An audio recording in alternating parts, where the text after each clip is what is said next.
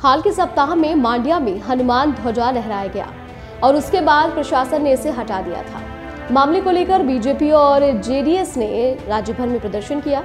इस विवाद के बाद उत्तर कन्नड़ से एक और विवाद सामने आया, जब जिला प्रशासन एक सर्कल से वीर सावरकर की नेम प्लेट हटा दी। इसी बीच बेंगलुरु के शिवाजी नगर में लैंप पोस्ट पर हरा झंडा लगाने को लेकर बीजेपी ने सवाल उठाए।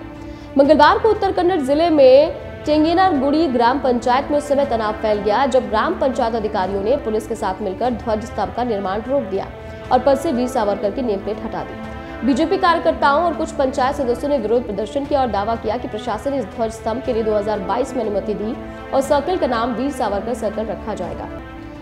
हालाँकि जिला प्रशासन के अनुसार पंचायत सदस्यों ने इस ध्वज स्तंभ के निर्माण और सर्कल का नाम वीर सावरकर सर्कल रखने के लिए कोई अनुमति नहीं ली थी।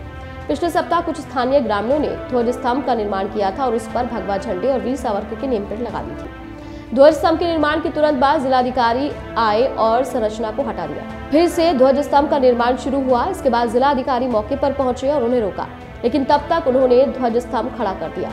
बढ़ते विवाद को लेकर जिला प्रशासन ने उठाए ये कदम। बढ़ते विवाद के बीच जिला प्रशासन ने पंचायत में ऐसे सभी संरचनाओं को पंद्रह दिनों के भीतर अनुमति दस्तावेज़ पेश करने के लिए नोटिस जारी करने का निर्णय लिया है और कागजातों की अनुपस्थिति में अधिकृत संरचनाओं और नेम बोर्ड को हटाने का फैसला भी लिया है।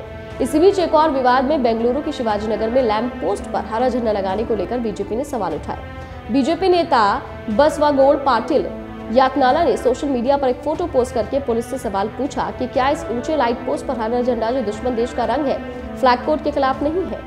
उन्होंने इस हरे झंडे को तुरंत हटाने की मांग भी की है। इस पे पहले की मामला तूल पकड़ता। पुलिस ने शिवाजी नगर के चांदी चौक से दरगाह एसोसिएशन के सदस्य से बात की, जिसके बाद स्थानीय लोगों ने तुरंत हरा झंडा हटाया और इस लैंप पोस्ट पर तिरंगा लहराया गया।